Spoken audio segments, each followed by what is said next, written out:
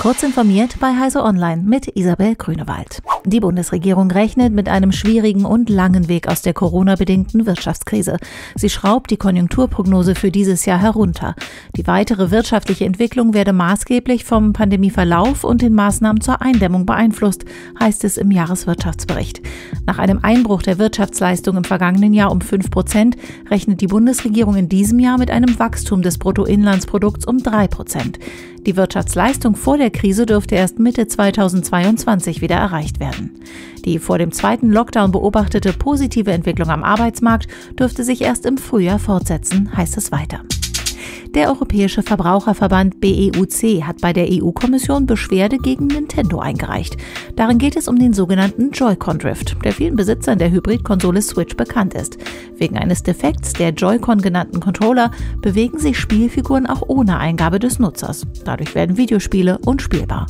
Der Verbraucherverband fordert die EU-Kommission auf, das Problem europaweit zu untersuchen. Nintendo müsse außerdem dazu angehalten werden, den Fehler in seinen Switch-Konsolen zu beheben. Bis dahin müssten die Joy-Con-Controller kostenlos repariert werden. Facebook hat angekündigt, zukünftig auch zum Holocaust auf verlässliche Informationen zu verweisen, wenn sich Menschen in dem sozialen Netzwerk darüber informieren wollen. Das Unternehmen möchte hiermit gegen Falschinformationen über den Holocaust und auch gegen die Holocaust-Leugnung und damit einhergehende Verschwörungsmythen vorgehen. Das teilte Facebook anlässlich des weltweiten Holocaust-Gedenktags mit. SpaceX Starlink hat die ersten zehn Satelliten im Regelbetrieb, die untereinander Daten mittels Laserverbindungen austauschen.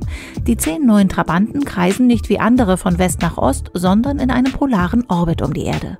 Bisherige Starlink-Satelliten benötigten stets Bodenstationen in derselben Region, in der sich auch der Kunde befand, um die Daten weiter transportieren zu können.